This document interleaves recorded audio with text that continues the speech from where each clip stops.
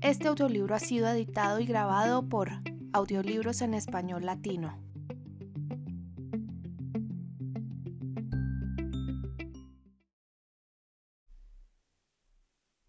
El Pígamo por Paul Bonnetain.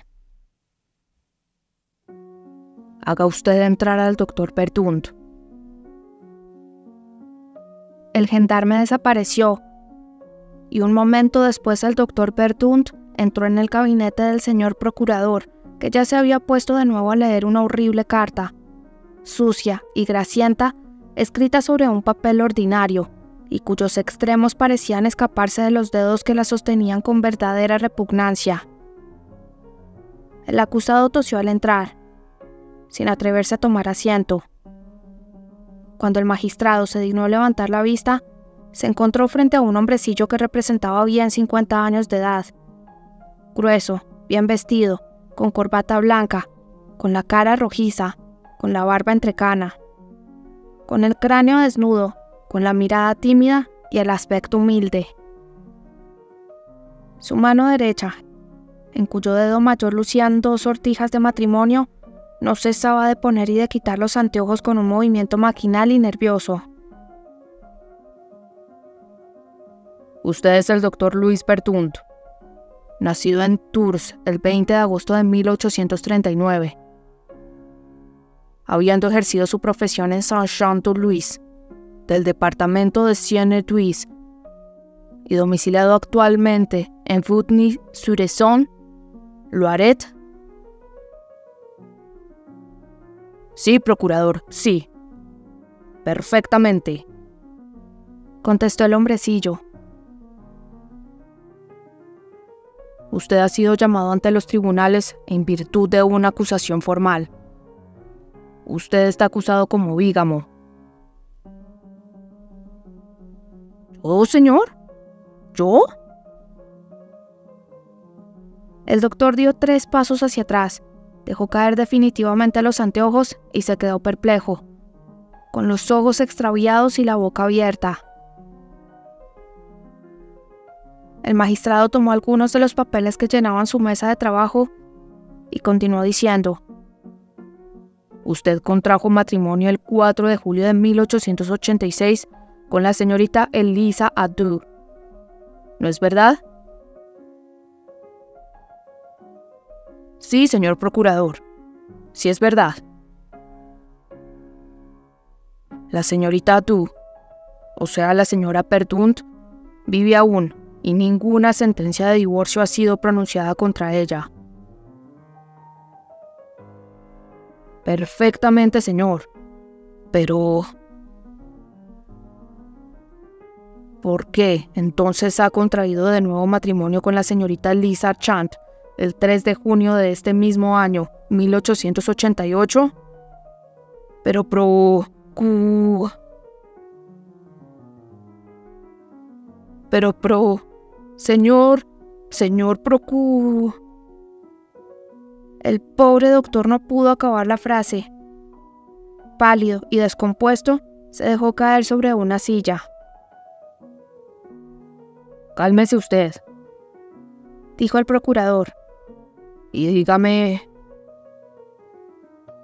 Pero el hombrecillo estaba ya de pie, muy encarnado, poniéndose de nuevo los anteojos, retirándose algo del buró por miedo de encontrarse frente a algún fiscal. Miró si las puertas estaban bien cerradas y tomando entre las suyas la mano del magistrado, continuó. Se lo ruego, señor, que no vaya a oírnos nadie. Voy a explicárselo enseguida.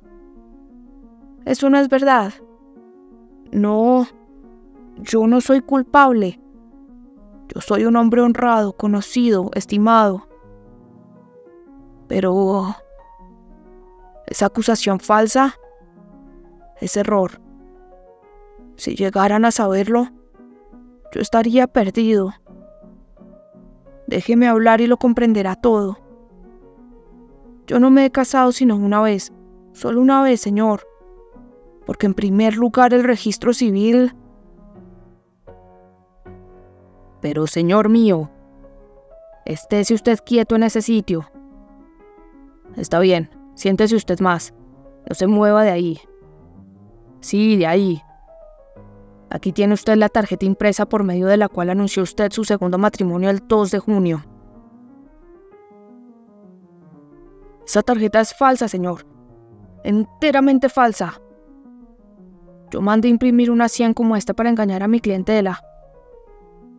Pero yo no me he casado sino una vez, con mi mujer legítima, con mi única mujer, con Elisa Atu. Sí, interrumpió el magistrado. Ese es el nombre de la primera. Y la señorita Lisa Archard. Atu Archard. ¿No conocen la casa Atu Archard? ¿Comerciantes de San Denis? Caballero, gritó el procurador. Me parece que usted olvida en absoluto el respeto que se debe a la justicia. Perdón, señor, perdón. Lo que sucede es que yo me explico mal. Pero voy a decirle. Esto es una historia. Una historia muy delicada. Una falsa posición. Y decidiéndose de pronto, le contó toda su historia al magistrado. Después de haber dejado caer una segunda vez sus anteojos, sin duda para no ver. He aquí, señor procurador, la verdad verdadera. El 4 de julio de 1886 contraje, en efecto, matrimonio con la señorita Elisa Atu, de la familia Atu Archard. Yo ejercía entonces mi profesión de médico y cirujano en Bontigny-sur-Essonne y al mismo tiempo hacía algunos estudios de numismática. Es una ciencia que encanta y el Supremo Gobierno ha premiado algunos de mis trabajos dándome las palmas académicas. Durante el primer año de mi casamiento la dicha fue completa en mi casa. Mi mujer era muy afectuosa y muy bonita. Yo la quería con toda mi alma. Luego he llegado a comprender que desgraciadamente mi mujer no era solo muy bonita, sino hasta demasiado bonita. Sí, demasiado demasiado. Hacía ya dos años que nosotros estábamos casados, cuando llegó a Butney un nuevo superfecto que el señor Watson, nuestro diputado, había hecho nombrar. Se llamaba Víctor Terrier. Ah, señor procurador, usted no sabe cuán cruel es obligar a un hombre a contar ciertas cosas y a desgarrarse en público el corazón. ¿Creerán que tardo mucho en decirlo? Más tiempo, mucho más, empleé para llegarlo a descubrir. En todo caso, trataré de ser lacónico hasta donde sea posible. Ese superfecto vino un día a casa, cuando yo acababa de recibir las palmas académicas, para felicitarme. Yo estaba ausente, mi mujer lo recibió, él la encontró encantadora y volvió al día siguiente. Al fin fuimos amigos. Mi jardín lindaba con el jardín de la prefectura. La vecinidad nos obligaba a encontrarnos a menudo. Yo no detestaba al señor Terrier, ni mucho menos. Él era simpático y tenía, como yo, el amor de las colecciones de curiosidades. Además estaba algo enfermo la vida llena de agitación y de placeres de este gran París lo habían debilitado y lo había fatigado. Yo lo curé. Él comenzó a mandar ramilletes de flores a mi mujer, y luego, cuando tuvimos más confianza, le dio también lecciones de natación en el Esona.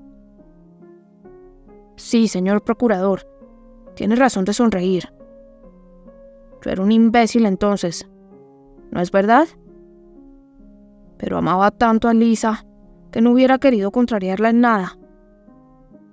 Luego mi clientela, la ciencia y mis estudios me ocupaban durante muchas horas del día, de modo que ella estaba casi completamente sola. Enseguida... ¡Qué demonio! Lo que tenía que suceder sucedió. ¿Cómo lo supe? Por la criada que me advirtió un día. Yo los sorprendí juntos tomando un alegre baño en el Esona. Al principio quise matarlo y grité desaforadamente. Pero mi mujer tuvo un ataque de nervios mientras él salía corriendo enteramente desnudo. Figúrese, señor, el escándalo que se armaría en el pueblo al mirar al señor su perfecto en traje de Apolo. Pero sin hoja de parra. Para mí el golpe fue terrible y cuando volví a casa por la noche. ¿No es verdad que estaba idiota? Elisa se había escapado ya en compañía de su tierrer, a quien yo había escrito anunciándole que iba a hacerlo despojar de su empleo por medio del señor Watson. Después de aquello, señor procurador, yo no podía seguir viviendo en Putney. Así pues, cedí mi clientela a un joven compañero y me marché a París. Considero inútil decirles cómo viví en mi antiguo hotel de estudiante. Desde luego pedí informes en la prefectura de policía sobre el paradero de mi mujer. Y al fin de algunas semanas llegué a averiguar que su amante la había abandonado ya y que se encontraba sola y pobre en una casa de huéspedes del barrio de la Estrella.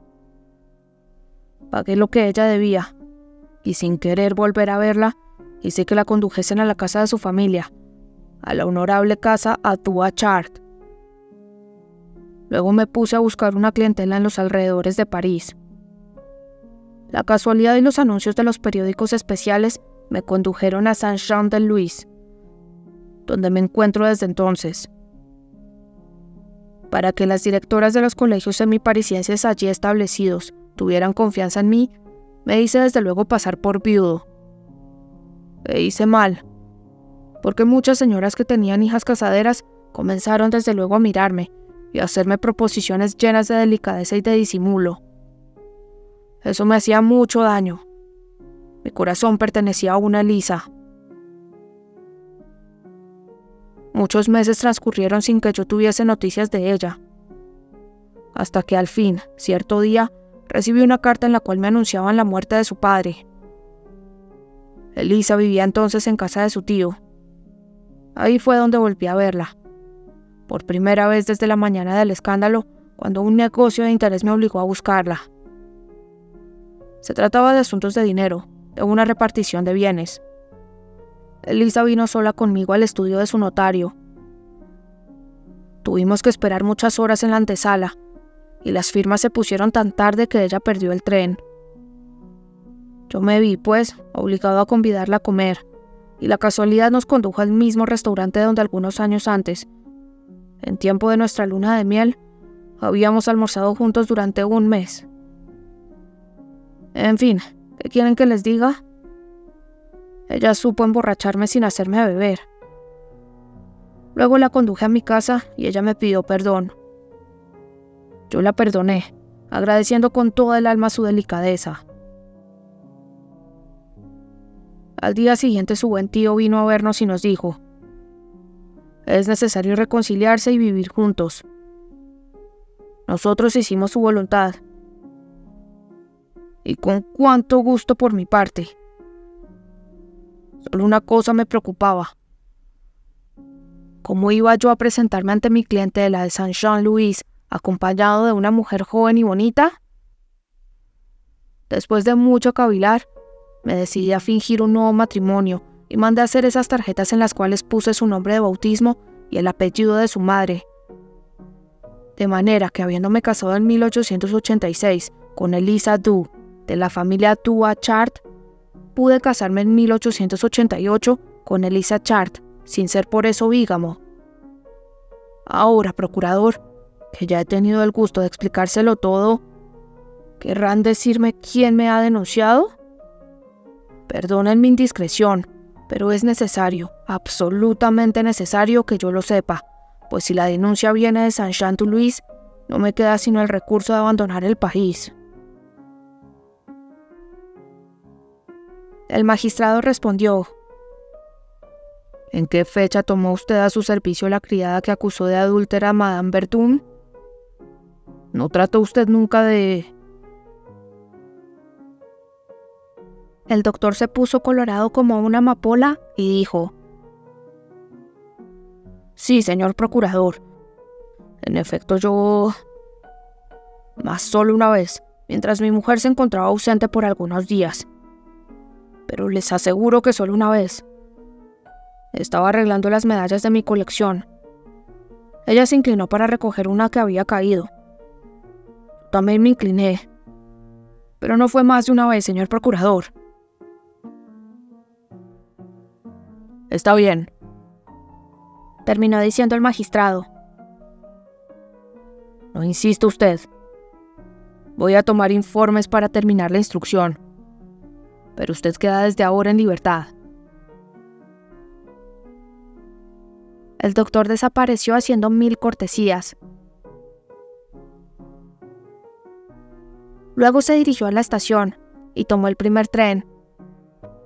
Cuando por la noche llegó a Saint-Jean-de-Louis, no pudo encontrar a su mujer sino al cabo de una hora. ¿Y saben en dónde? En la casa del teniente de gendarmes. Por eso, sin duda, el pobre doctor va a cambiar nuevamente de residencia